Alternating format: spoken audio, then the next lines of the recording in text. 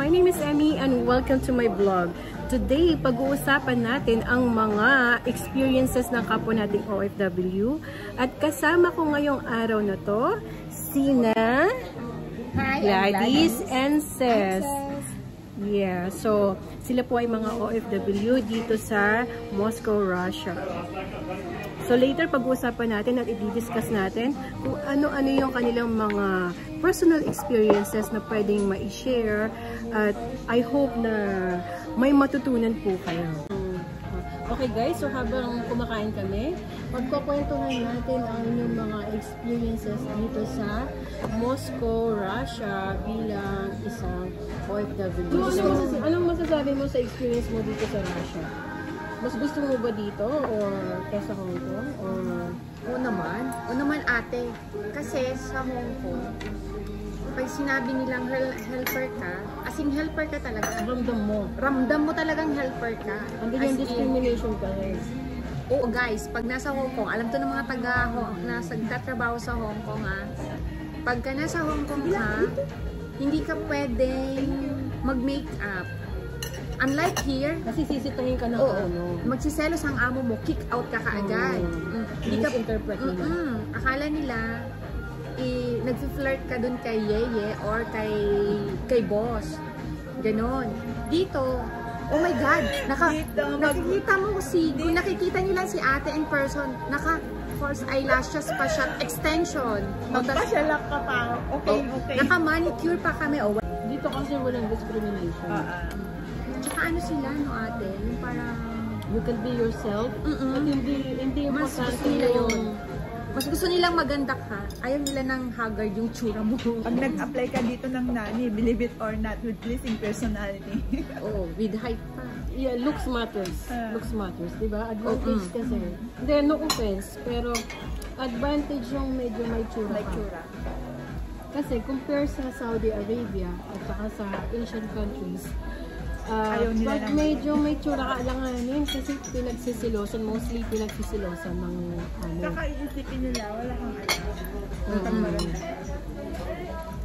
We're not saying na maganda kami ha, pero I'm just talking about the statistics, about the reality. About experience, kasi Mm. na-try ko na din mag-apply ng agency as a nanny. Inuuna yung may mga itsura talaga na ina-interview. Talaga? Oo naman. Ate. Like sa Clever, one time, one time ha, nandun kami.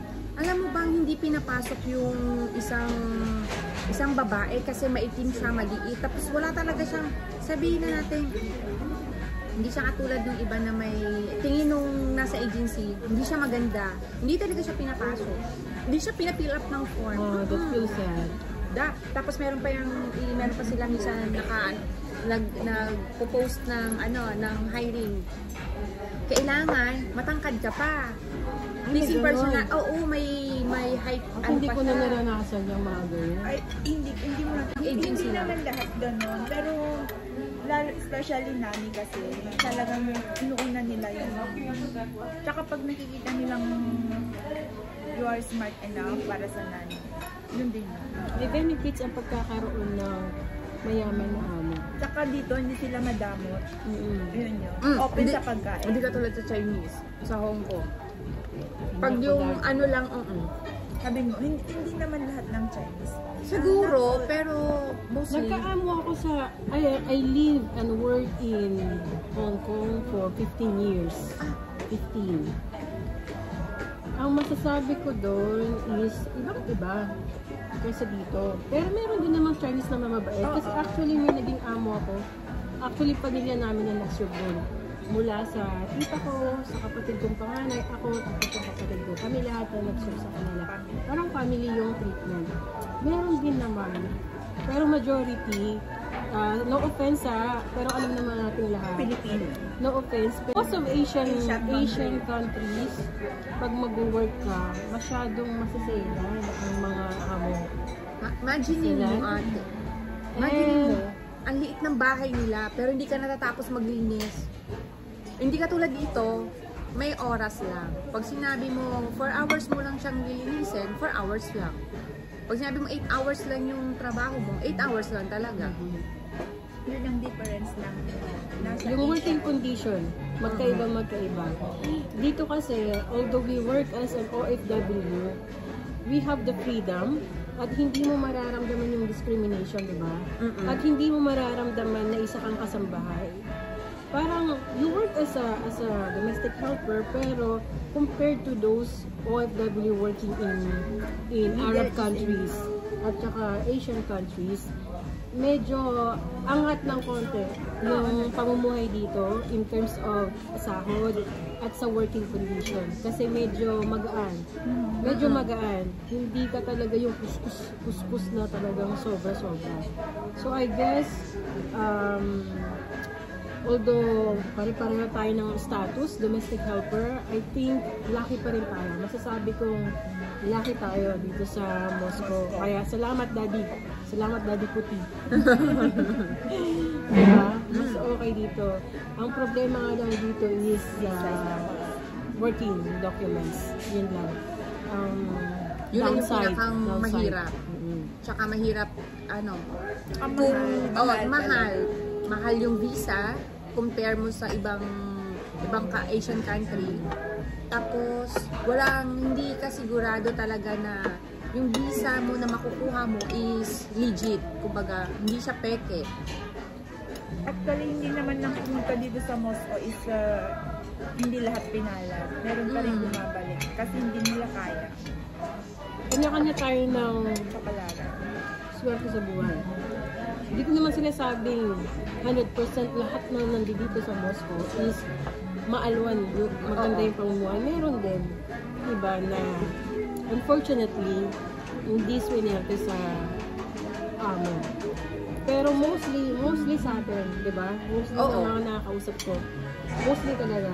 It's either ang problema is nasa Pinay or nasa Alaga. Pero mostly, mostly ang naririnig ko is mababait naman daw ang mga amo nila. Mas mabait, super, Mas pang may kasama kang kalahi mo sa isang bahay. kesa sa kanila. Totoo yun. Okay, real talk tayo ngayon. Real ano, talk. I-share ang yun. mga experience. Totoo. Kasi ma- lalo na pag nauna sa'yo, mas bossy sila eh kaysa sa amo. Totoo yun. Hindi ako nagbibiro. Coming from her, ah, not coming from me. Kasi ako, marami kaming workers. We have uh, six drivers. Dalawa yung cleaner namin. May hardinero. Meron kaming technician. Meron kaming mayordomo. At meron kaming pinaka-home manager. Ako lang lahat at ako lang, ako lang ang Pinay. Pero, Same. Same tayo ate. Mas marami lang kami sa'yo. pero, mas mahirap pa kasamahan yung mga katrabaho Kaysa, kaysa amo. Na amo. Mm, Kasi dito, pag nasa abroad ka, wag kang iiyak-iyak, konting ano, iiyak ka. No, hindi ka pwedeng ganun. Don't be sensitive. Mm-mm, hindi ka pwedeng iyak-iyak ka na pagka inano ka, iiyak ka. Hindi. Dapat pagka may may ginawa, may may mali ka, na mali ka sa trabaho mo, tapos iiyak ka lang, hindi ganun dapat. Pag mali ka, matuto kang mag matuto kang mag-sorry at matutunan mong gawin ng tama next time. Very Para good. hindi ka na ulit papagalitan. accept. Isa sa advantage ng pag-work dito sa Russia is um, may ano tayo, may sinusunod na time schedule. Ibig sabihin yung working time. Kung 10 hours, 10 hours. Pag Pag 8, 8, 8 hours. Kasi sa Hong Kong or some other countries, I'm not, I'm not, not specifically Hong Kong. Habang gising pa yung alaga mo at gising pa yung amo mo, hindi ka pwedeng matulog. At pag kumain, pagka yung amo mo hindi pa kumain, hindi ka din pwedeng kakain. Kailangan Mm. mauuna sila or sabay ka sa kanila kakain. Dito hindi. Pag gutom ka, kumain ka na. Parang meron yung unwritten rules na sa umaga, Pinay ang unang nagbubukas ng ilaw ng, ng bahay. Mm-mm. At Pinay din ang huling magpapatay. Kasi sila yung unang nagigising. Sila pa rin yung pinaka-late na nagigising. Ganon ka-work hard. Ganon katindi Ganun ang ka rin ba? trabaho. Akala ko ate, kami lang yun. Doon sa bahay namin, As, ganun. as a OFW for 21 years, grabe yung mga dinanas ko.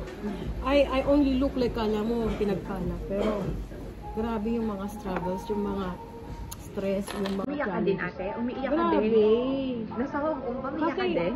18 lang ako noon nung una ako nag-abroad. Ako kasi yung bunso sa pamilya namin. So, spoiled. Hindi ako pinagtatrabaho sa sa bahay, yung mga gawaing bahay. Hindi. Hindi talaga. Lalo na sa tatay ko kasi, ano yung tatay papas, ano kasi ako, Papas. Oo. Lahat yan, laba, luto. Wala akong alam kundi magbasa. Ano ako eh, aral lang. Tapos biglang nag-abroad. Doon na. Doon na, pagdating sa abroad, wala akong alam. Magprito ng isda, hindi ko alam. Yun yun yung unang pinagalitan ako. Pinagprito ako ng isda ng amo. Eh, dumikit sa kawali. Pag siya, wala na siyang balat. Galit na galit. Sorry ako ng sorry. Tapos sabi, ba't pritong isda lang, hindi ka marunong? Eh kung doon pa lang, hindi na ako. Di Sana hindi ako, hindi Nandito ako cook ngayon. ngayon.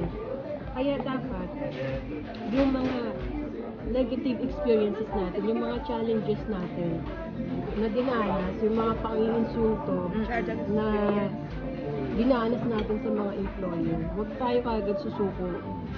Huwag susuko agad. First of stepping stone. Oo. Kasi pagka nagkamali ka, tanggapin mo. Tapos next time, do much better. Kasi, Mhm. alam nga mali ka na, uulitin mo pa ulit yun. Madami, madami, madami pang kasala, o maling pwedeng gawin, huwag pa ulit-ulit. Mhm. Don't make same mistake always. Mhm. Mag-improve ka din ng mistake mo paminsan-minsan. Mhm. Correct. At saka fair people ang mga Russian. Mm-mm. Fair sila. Totoo. Reasonable. Reasonable people. Pag ayaw mo sa kanila, accept nila yon Pwede kang umalis. Pag ayaw din nila sa'yo, accept mo din Yung siyempre. pangit extra. ang kwan dito eh. Pag ayaw mo na sa amo, pwede mo siyang layasan. Oo. Hindi kagaya dun sa ibang country na Oo. kailangan mo tapusin yung contract. Oo. Tiis, tiis ka talaga habang habang hindi tapos yung kontrata mo, kailangan mo magtiis. Sabang, sabi nga So, nila, parang imagine- kontrata, tinatapos, imagine hindi that. trabaho. Waking up every day Mm-mm. na pagising mo, gusto mo nang murahin yung amo mo. Gusto mo lang umuwi ka mo. Dito hindi, no? Kasi sa hirap ng ano, ng trabaho, parang maisip mo na lang na sa pagising mo, wala ka ng gana. Trabaho na naman. Busy ka amo. Di ba? Ganun ang ano, eh, bukang bibig mo kasi hindi ka nag enjoy Oo. Hindi ka, hindi mo, hindi mo mahal yung trabaho mo. Eh dito, Dito enjoy mo kasi parang naisip ko pag tapos ng araw, ah, pupunta kami sa mall, punta kami mga Mm. kaibigan ko sa restaurant. Kami parang Oo. naglalaro lang ba? Oh, Mm-mm. Tapos at the end of the month, meron kang pera. Meron kang sinasahod. So, work and pleasure at the same time. Tsaka pag nakita mo yung bank account mo na ito na naman yung laman, yung pa, ipapasok mong pera, parang ang saya mo. Pag nasa Middle East ka or Asian countries, pag tingin mo ng sweldo mo, parang gusto mo na naman malungkot. Nakikita mo, kasosweldo mo lang, nalulungkot ka na naman. Kami dito hindi. Even mahirap, syempre wala namang madali. Pero trabaho may pag nakita namin yung paycheck namin, kumbaga, in the end of the month, asing masaya talaga kami, asing nakangiti kami. Kasi